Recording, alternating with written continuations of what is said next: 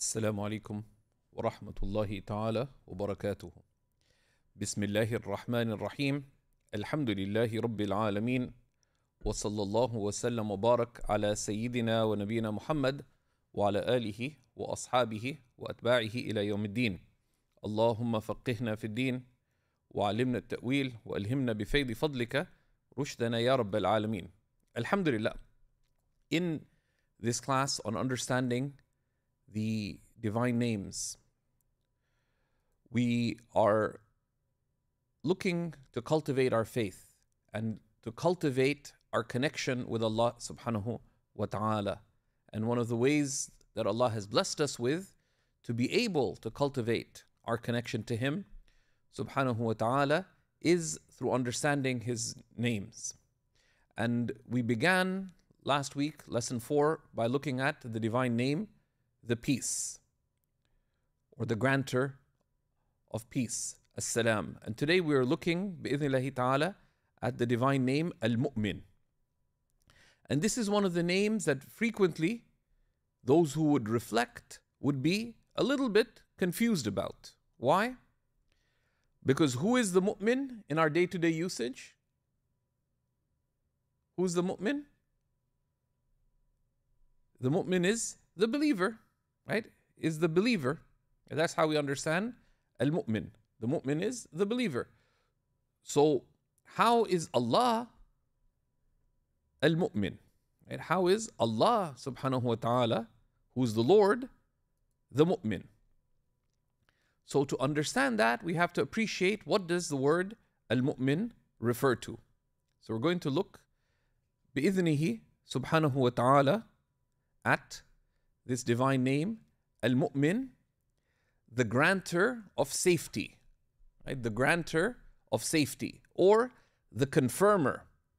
So the first thing to look at is what does the divine name Al Mu'min refer to? What does the divine name Al Mu'min refer to?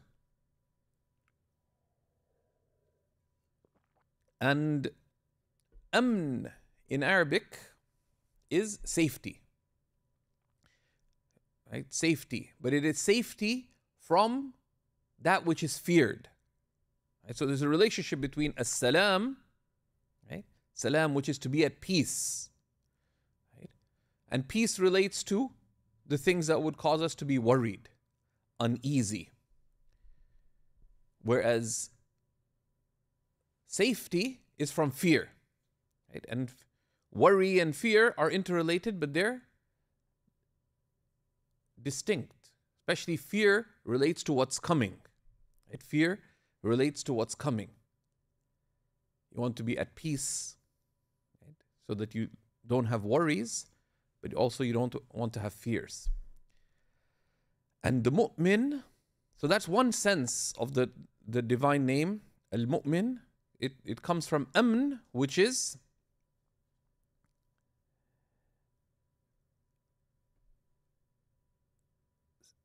the safety from fear, and the other sense of the divine name Al Mu'min, in terms of the root sense, comes from confirming. Confirming. Ammana, right? Ammana, right? right? Is to give safety. But the word mu'min comes from amana, which is to confirm something as true, to believe something. But believing something is confirming it as true, is to confirm it as true. And these are two of the senses of how Allah is al mu'min, from granting of safety and confirming truth. How? We'll see. Allah's because the fears we have are various kinds. We have worldly fears, we have fears related to our faith, fears related to our actions, fears related to our state with Allah, fears related to the next life.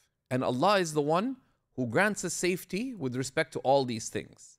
He is Al Mu'min, the granter of safety and the, and the confirmer. And the confirmer. So a comprehensive somewhat comprehensive definition of al mu'min is Allah is the one who grants safety from the fears of this life and the next. And the one who confirms the believer in faith, who confirms the believer in their practice, in their actions, in their state, and in their eternal standing. So, so it is a confirming putting at rest. It's a comprehensive putting at rest. Allah is the one who puts you at rest. And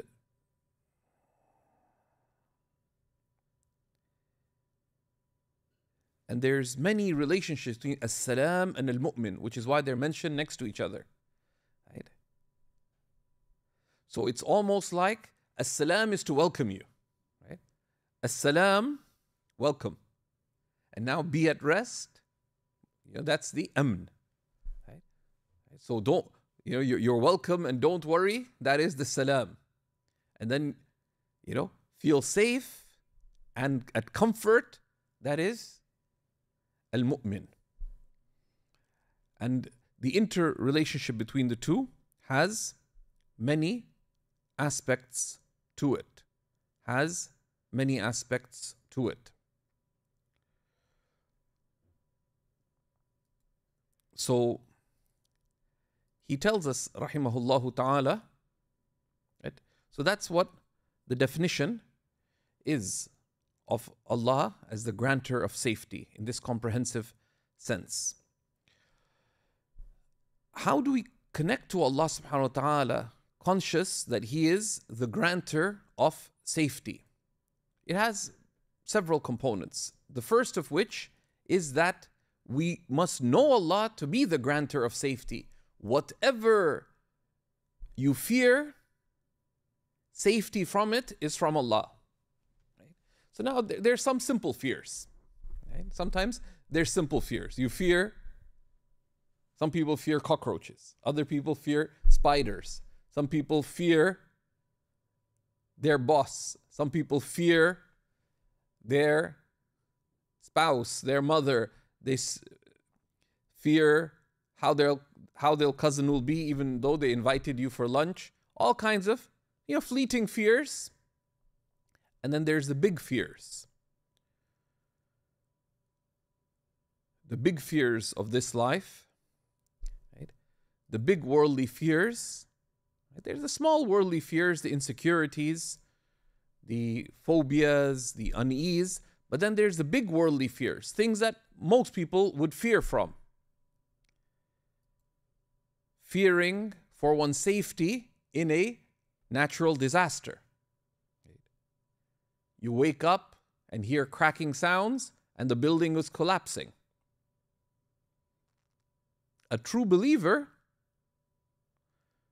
and we know that even the best of people are tested with the heavy tests. Allah subhanahu wa ta'ala describes the prophets and the believers with them. وَزُلْزِلُوا They were shaken as if by an earthquake. Until the, the, the messenger and those who believed amongst them said, When is the victory from Allah? And Allah subhanahu wa ta'ala says, Allah inna nasrullahi qareeb. Truly the victory of Allah is near. But that itself, and that's from Surah Al-Baqarah, right? They were shaken as if by an earthquake until the messenger amongst them and the best believers said, When is the victory of Allah? And Allah says, Ala inna nasrallahi qareeb. Truly the victory of Allah is near.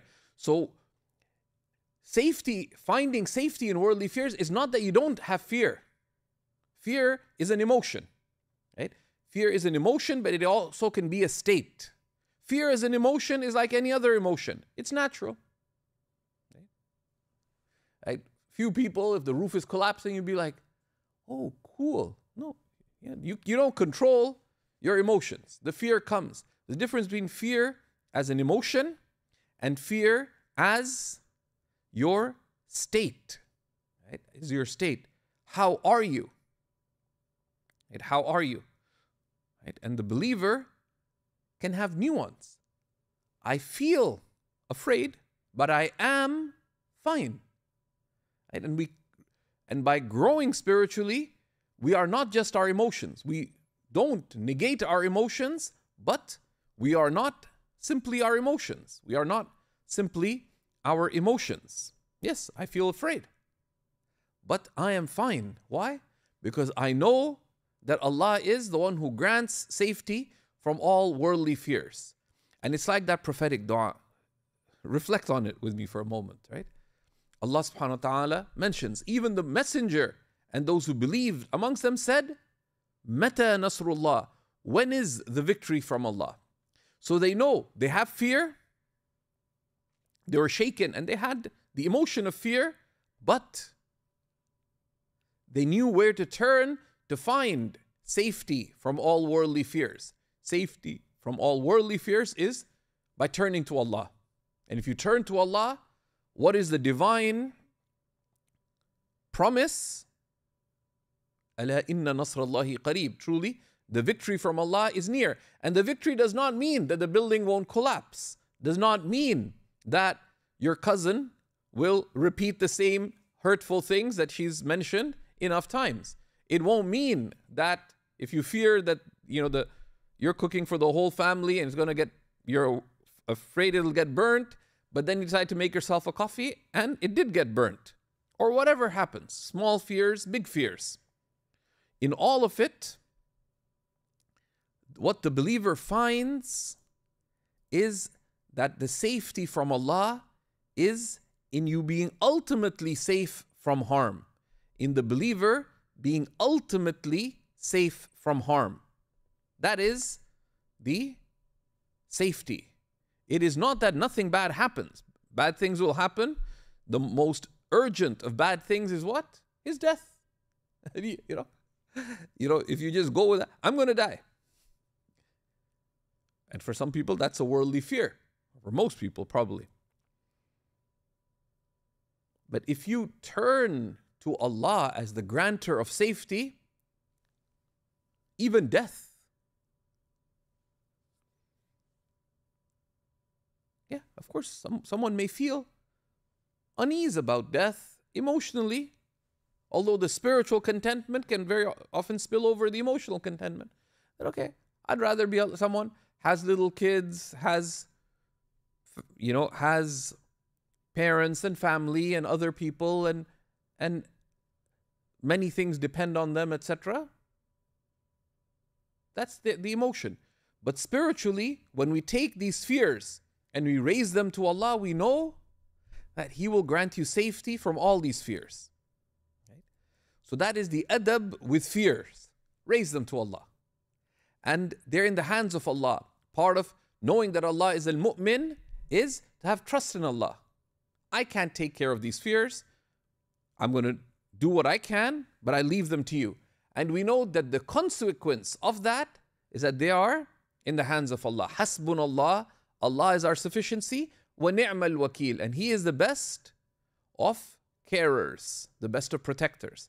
But that does not mean that the bad things of this life won't happen, but they won't be of ultimate harm.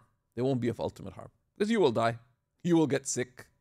You will experience loss you will experience disappointment. Right? People will let you down. You will fail. All of that will happen, but none of it, none of it will take you out of the circle of mercy and of good and of eternal safety as a believer.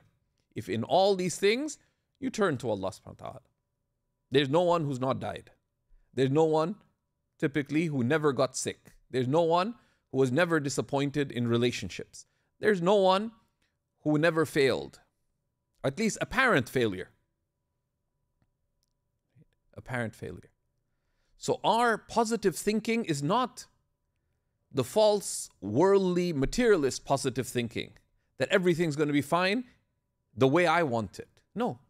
The believer's positive thinking is everything is going to be fine eternally the way Allah wants it. And if it's fine eternally, and we know our Lord to be the Lord of mercy, then whatever happens in the meantime, it's like the exam. You'd like a nice exam and you nice like the exam room to be warm and comfortable and and not to smell funny. But if it doesn't, it's an exam room. We get on with it. Right? So safety from worldly fears. Sim- similarly, to know that Allah confirms your faith. The most precious thing you have is, is your is your faith, and it's very easy to feel conflicted about your faith, confused about your faith. And Allah confirms your faith in many ways. Amongst them, He gives you proofs of His oneness in everything. Allahu khaliqu kulli shay. Allah is the creator of all things. So Allah confirms your faith by showing to us His signs. في الأرض آيات للموقنين. On earth are numerous signs for those of certitude. وَفِي أَنفُسِكُمْ And in your own selves. Do you not have insight? Allah confirms your faith. The things that happen in life, we connect them to Allah subhanahu wa ta'ala. We connect them to Allah. So Allah confirms your faith. And when you are conflicted about your faith, confused, unclear, you turn to Allah subhanahu wa ta'ala. Right? You, and this is not a doubt. It's not a doubt. It's a question. And as Sayyidina Ibrahim asked Allah subhanahu wa ta'ala for proof of his creating, Allah asks him, Do you not believe? He says, Indeed I do. But in but rather I'm asking in order for my heart to be at rest. In order for my heart to be at rest. So when you have those questions, you turn to Allah. You turn to the book of Allah. You turn to the remembrance of Allah. And the truths that you know are true and the proofs that are clear, that are given to you, should, con, con, should be a confirmation from Allah of your faith. Because what happens? Sometimes you know someone you're you're sitting on the GO train, and two people are talking about some new book by some in strange atheist.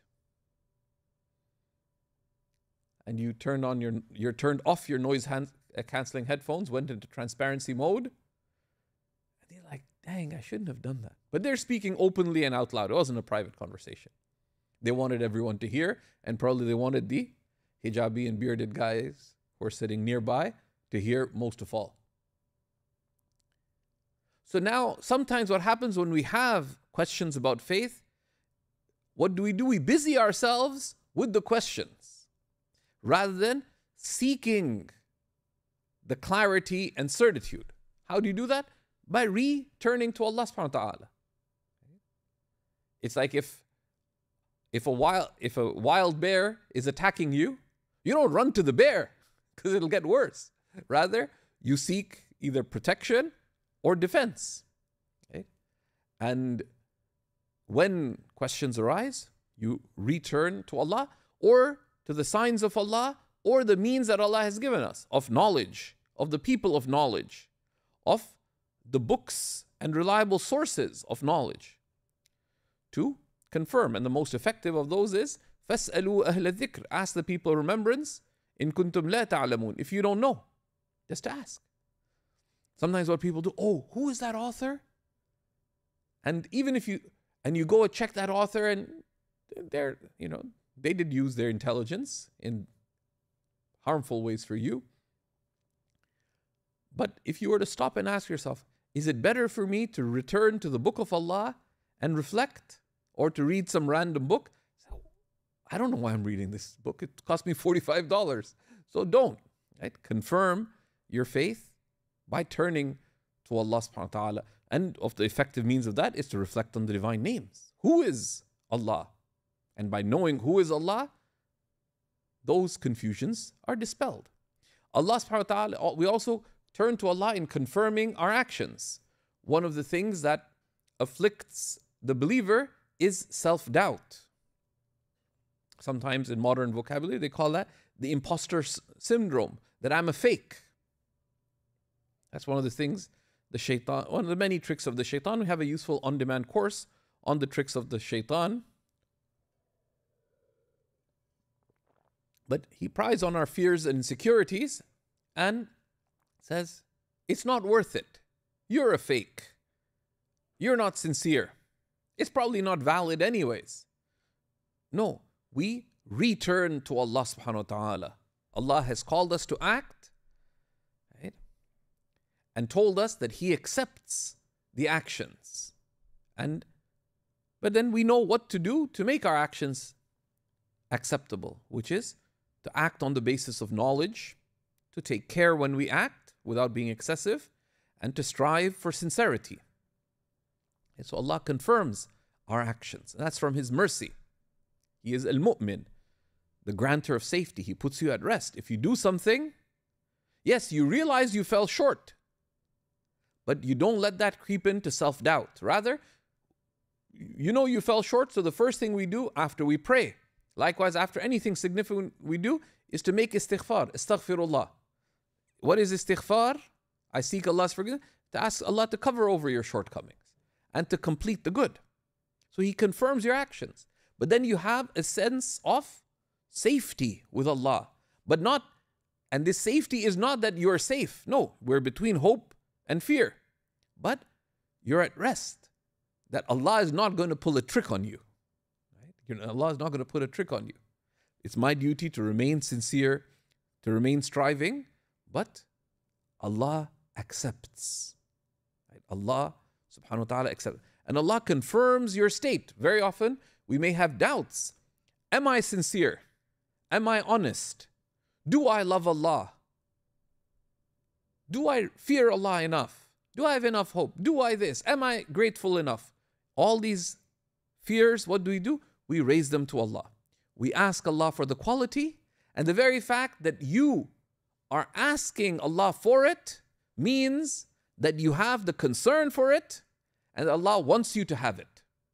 So you don't second guess. Of course, you always seek an increase in the good, but part of Allah being Al Mu'min, the grantor of safety, put your heart at rest with respect to your state with Allah. Your state with Allah in the sense that you you must continue striving, but don't second guess. Anytime you feel afraid that I don't have enough of any quality, what do we do? Raise it to Allah. Ask Allah for it. Seek and strive. Right? We've talked about this before. There, there's a four-step model for being in a good state, which is seek and strive, repent and rectify. Right? And then repeat. Right? And then repeat.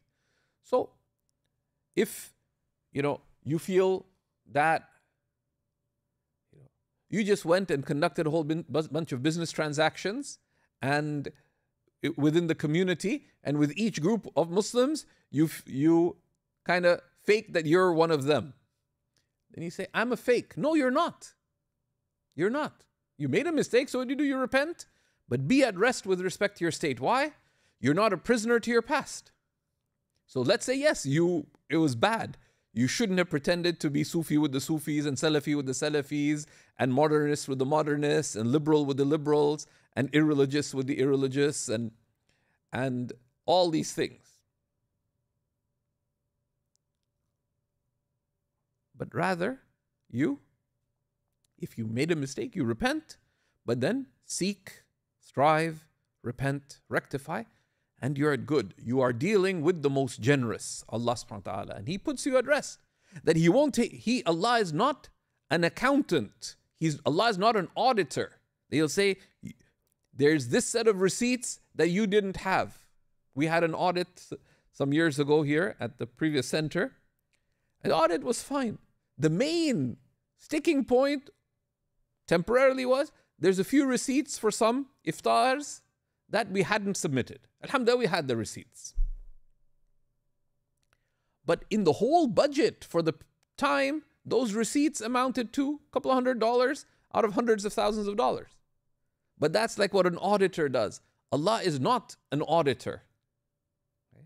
Allah is the Master, the King, the Lord, but He is also the All Merciful. And He tells us, My mercy outstrips my wrath. He has chosen to deal with creation on the basis of mercy. So Allah confirms your state. All you do is seek the good state from Allah. Seek either the confirmation of the good state, or if you don't have it, ask for it. That's it. And this is one of the things that a lot of people, a lot of sincere people, question about that. Do I love Allah? And that's when the shaitan comes in. Oh, you don't. It's all a fake. You're just pretending. What does it mean to love? He becomes a philosopher if, if you are. Rather, you say, okay, oh, Allahumma inni as'aluka hubbak. Oh Allah, I ask you for your love. And the very fact that you sought to ask is a sign, bi'idhnillah, of your sincerity and of Allah willing to grant. But then strive accordingly. And Allah confirms your eternal standing in the next life. A lot of people get gripped by fear that I'm going to burn, I'm going to roast. I'm no. Allah is not out to get you. Right? And Allah subhanahu tells us, Allah invites you, Allah calls you to Dar es Salam, to the abode of eternal safety. Allah invites you to the abode of eternal safety. Allah created our ancestors, Sayyidina Adam and Sayyidina Hawa, in paradise because that is our homeland. Our homeland is paradise. And that's where we are supposed to return to. Allah subhanahu wa ta'ala only, only called us to obey Him because He has called us to paradise. Allah only made His obedience obligatory because He has made Jannah obligatory for us. Okay? Which is why we don't drag ourselves to our acts of worship, but we say this is the invitation to paradise. So we have a positive state with that. But of course, that does not mean that is that is Allah's confirmation, but then you have to accept. Yesterday I had two parcel deliveries. We were out of the house. Neither one was dropped off at the house. Why? Because the delivery happened, but you gotta open the door and pick it up. So similarly, yeah, this is not saying that, okay, khalas, Allah is the mu'min, so I am safe. No. He grants safety, but you must accept it. Right? Because the mu'min, the mu'min is the one who accepts the truth and then strives to act accordingly. And then if we realize, right, this reality, then how do we characterize ourselves with this reality? Like, how do we behave as servants of Al Mu'min, of the grantor of safety? And this can be encapsulated in a beautiful hadith of our beloved Messenger وسلم, who said, Al-mu'minu man salima al-muslimuna min lisanihi wa yadih. The Muslim is the one whom others are safe from their tongue and hands. A Muslim is one whom others are safe from their tongue and hands, meaning safe from their harm. They don't f- fear harm from them. They don't fear harm from them. So a believer, knowing that Allah is the grantor of safety, the one who protects from fear, strive to be of those who facilitate worldly safety for people, individual and collective. And there's many levels of distress and fear that people have. Be the source of protection from that. How? They're, they're, the worldly safety, people fear for their lives. Be someone who assists in the preservation of life. Right? One of the ways is give in charity. Give of your time. People fear for their wealth. They fear for from poverty, from material distress. So again, through charity, through concern, through raising awareness, through serving. Be someone who helps in the protection of life, in the protection of wealth and poverty alleviation in all its manifestations. People fear also from political harm. Again, be someone who is politically aware, who assists with their time, with their money, with their efforts to promote the political good, if facilitated. The least is to have concern and to pray for these, because one cannot necessarily actively engage in all of these things. But this should, you know, if one has the means, one directs one's charity towards religious good, we'll be talking about that momentarily, but also the worldly good. That the preservation of life, the preservation of wealth, the preservation of the political and social well being, right? be a source of safety to the environment in yourself, but also through raising awareness, etc. But then there is also be a source of safety for people in their faith, in good action, and, and spiritual good by being a person who inspires others to, to the good in their faith, by being a person who inspires others towards the path of Allah, who inspires others towards turning to Allah, who inspires others to rekindle their relationship of love and gratitude to Allah.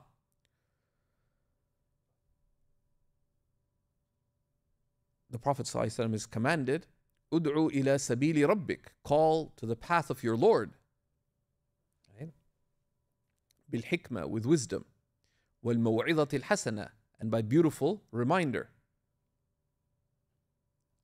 The Prophet ﷺ is told to declare, قُلْ هَذِهِ سَبِيلِي Say, this is my way. أَدْعُو إِلَى اللَّهِ I call to Allah على بصيرة with insight. أنا ومن اتبعني I and those who follow me. So calling to Allah is calling people to what is the source of their eternal safety and good. How does one do that? One does that through knowledge, guidance, and counsel. One does that through knowledge, through guidance, and counsel. So we learn. Why do we learn the religion? Number one, for safety for ourselves, but also to be a means of knowledge, guidance, and uh, good counsel to others. One doesn't do this on the basis of ignorance. And also to serve the way of religion with care and concern for the good of others. Right? And that is always a challenge. Right?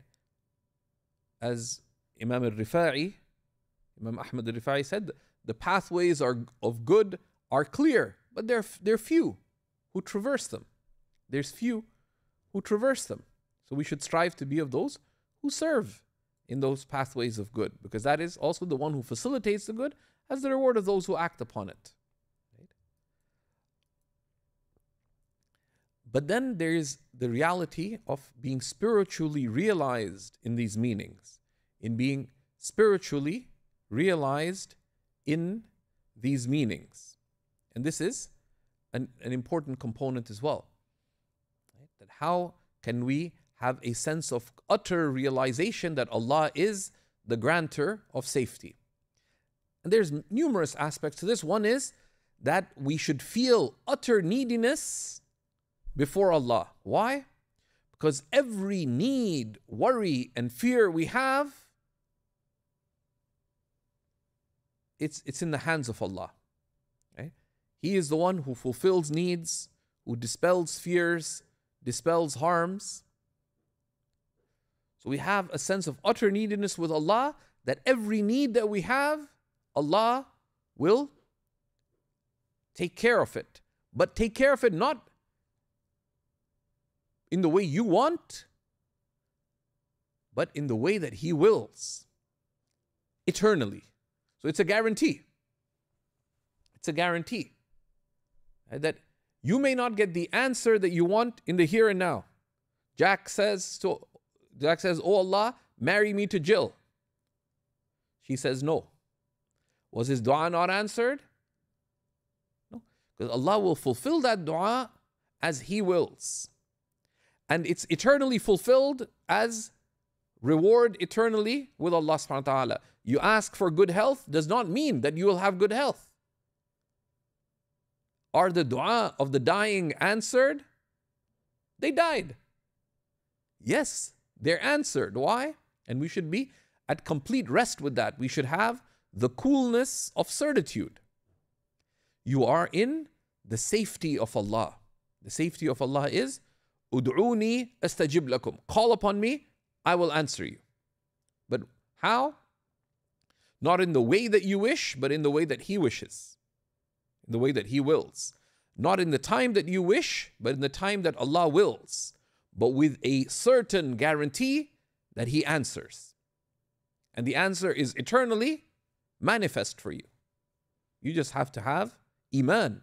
You must be a mu'min, a person of faith, that inna wa'ad Allahi haqq. Right? Indeed, the promise of Allah is true. So do not be deluded by this worldly life, and do not be deluded by the whisperings of the devil.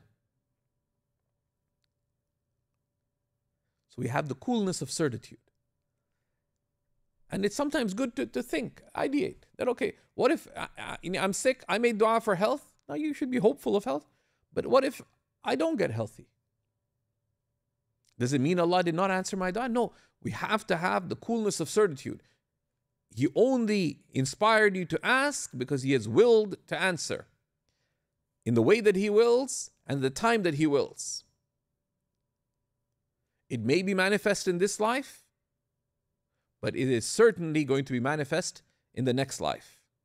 In this life, Allah will give it to you either by what you want or similar to what you want, or prevent harm from you to that extent. Or store it up as reward eternally. When the believer sees the reward of the du'as that did not appear to be answered in this life, the believer will ecstatically utter, Oh Allah, why did you answer my du'as in this life? And sometimes you don't know what's good for you. There's many people who got married, they have failed marriages, and that ended up being excellent for them. Because that was the catalyst that made them turn to Allah. I have a friend who, and real story, this is not a Jack and Jill story, it's a real story. He married the love of his life. She'd converted as well. She converted, but then her parents became fanatical born again Christians. And they put so much pressure on her that she left Islam and she declared him a terrorist. So the security services of his country attacked his house. And he's quite emotionally sensitive. And most people would be a bit shattered, I guess. Um, they attacked, like the paramilitary security services, whatever, anti terrorism, etc., with machine guns. Bro, the whole, like, some kind of like movie scene. And he spent a few days. Then they had to let him go and give him a settlement as well. Sometimes you don't know that what you ask for is good for you. We had a family that used to come here at Seekers who asked Allah so much for a child, and they hadn't had a child for over a decade. When they had a child, they had two children, they had three children in two years, twins and another child, and they had to induce coma to have one of the deliveries. Um, the sister was airlifted to hospital. Since then, she's had major health issues, etc. Sometimes we don't know what's good for us. Right? So even one of the adab of asking Allah is not we ask Allah repeatedly, but out of need, but we consign matters to Allah with certitude that al khair fi Allah. The good is in what Allah chooses for you. Sometimes you may make a demand, and it might not be the right thing for you.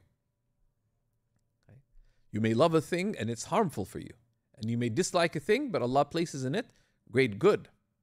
So this is one of the aspects, right? And this is how you find the coolness of certitude to know that Allah, the things are in the hands of Allah, and He, the consequences of all things for the believer are ultimately good.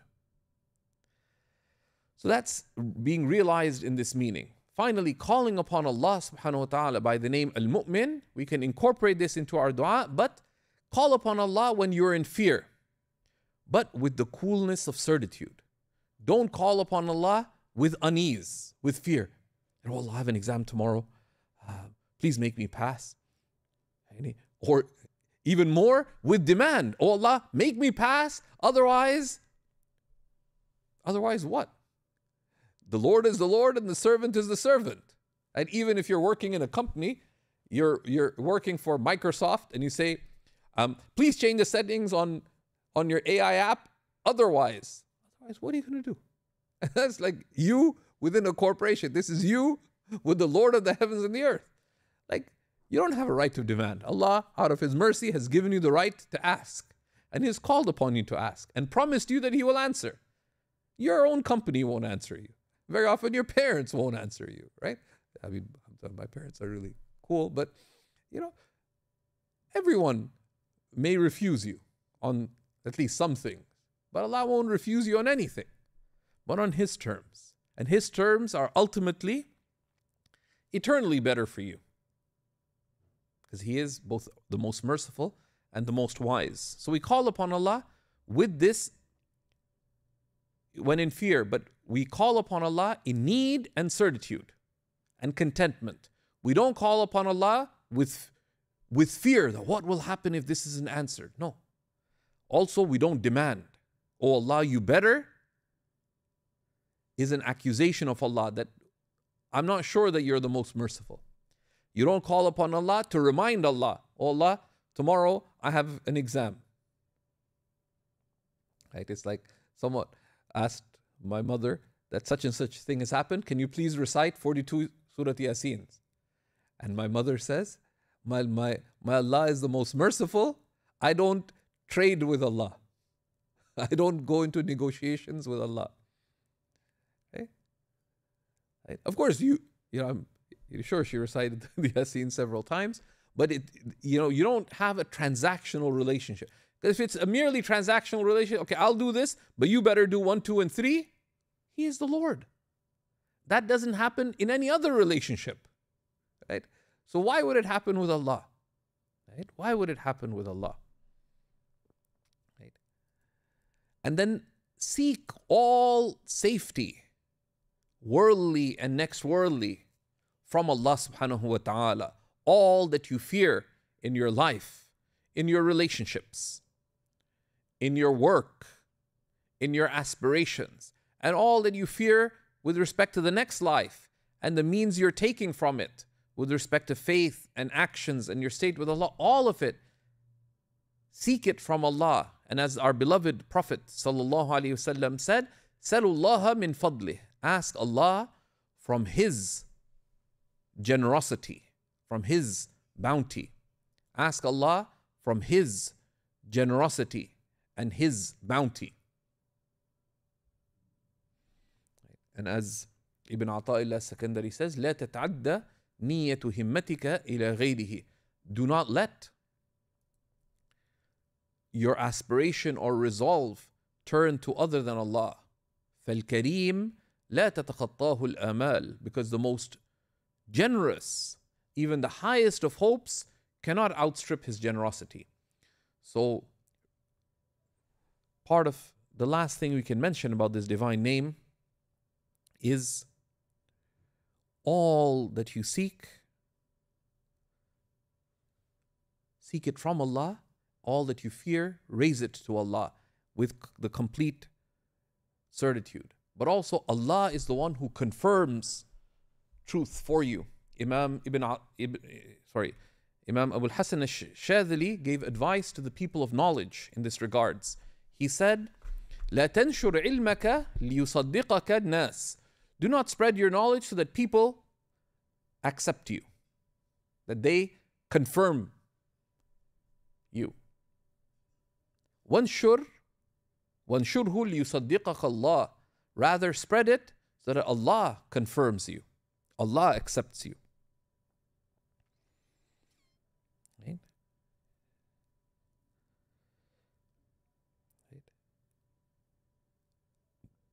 So that is why we should do things as well. That if Allah is the confirmer, seek confirmation only from Allah. Seek confirmation only from Allah. Whether in your knowledge, in your teaching, but also in your service. That's one of the reasons why service is difficult. When you serve, rarely do people say Jazakallah. They, they, they may say it on the spot, but do they really appreciate it afterwards? No. You serve in the masjid, you know, they ask you to join the board, then they'll kick you out and say, you know, she was trying to do this and that. Friend of mine was accused of trying to steal the elevator of the masjid, right? Which is one of the most ridiculous things. But, you know, all doesn't matter. Because if you're doing it for, for Allah, you give in charity. And you didn't announce it, but they announced, Jazakallah khair for so and so for giving this donation. And all people said, look, he just seeks status.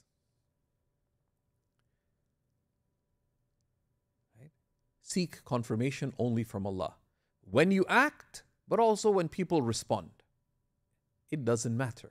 Right? It doesn't matter. And it's sufficient for us to see the examples of the prophets, right? They were accused of all kinds of things, but if you are true with Allah, what other affirmation matters? So we ask Allah subhanahu wa ta'ala to be true servants of Al Mu'min, the grantor of safety and the confirma- and the confirmer. وصلى الله على سيدنا ونبينا محمد وعلى آله وصحبه وسلم. We will continue بإذن الله تعالى by looking at the divine name Al-Muhaymin. The all, all controlling and all aware. والحمد لله رب العالمين. We have a few questions here that um, we can take, and if people have questions, feel free to, to ask. Um,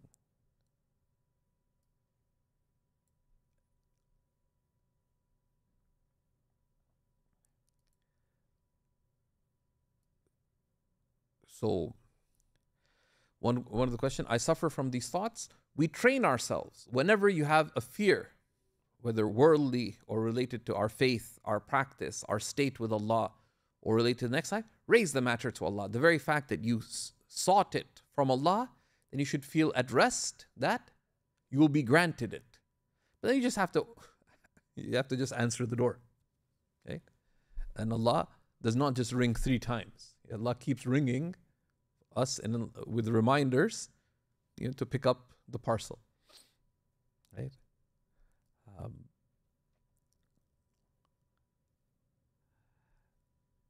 and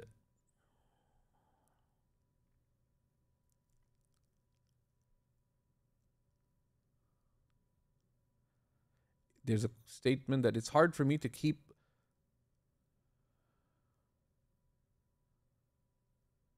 listening to you because I'm still stuck on that last story. I'm not sure about that.